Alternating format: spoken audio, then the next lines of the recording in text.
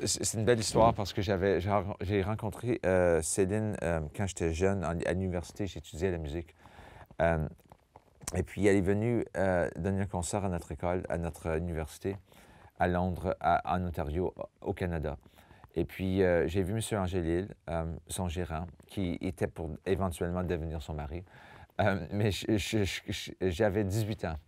Et puis, j'ai rencontré M. Angélé, j'ai dit euh, René, je m'appelle Stéphane Mocchio, j'aimerais beaucoup rencontrer Céline après le show.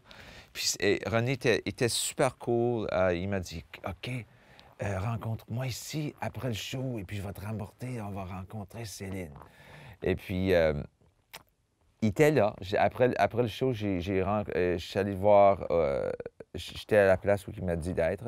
Il m'a porté en arrière, et puis j'ai dit et René m'apporte euh, pour rencontrer Céline. Il dit Céline, euh, voilà Stéphane Mocchio, c'est un songwriter. Et puis, euh, et puis j'ai dit à Céline Céline, un jour, je vais t'écrire un hit song. Céline était OK, bye bye. mais elle était super gentille. J'ai pris une photo avec elle. et puis, presque dix ans plus tard, j'ai écrit une chanson qui s'appelle A New. Mais euh, euh, je l'avais coécrit avec Aldo Nova à Montréal, au Canada. Et puis, euh, on l'a envoyé à Céline et puis René. Et puis, les deux sont mis au téléphone. René a dit, il a dit Hey, cette chanson-là, ça va être plus grand que Titanic. Et puis, et puis Céline, elle, elle. J'ai dit Ah, la chanson, c'est beau. On l'avait écrit pour elle et puis son garçon, René Charles. Et puis, euh, elle, a enregistré la chanson. Et puis, presque dix ans au jour que j'avais rencontré Céline, quand j'avais 18 ans, on était à Los Angeles, la chanson était, euh, allée au monde. Euh, on était aux Grammys, et puis j'avais la photo d'elle et moi.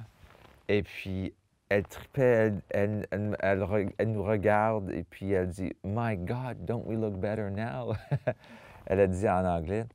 Et puis, mais c'était vraiment une belle histoire.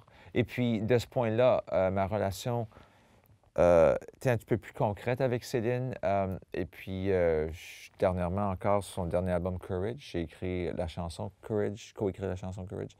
Et j'ai produit la chanson aussi. Alors, plus que la moitié de ma vie et plus que la moitié de la vie de Céline, on, se connaît.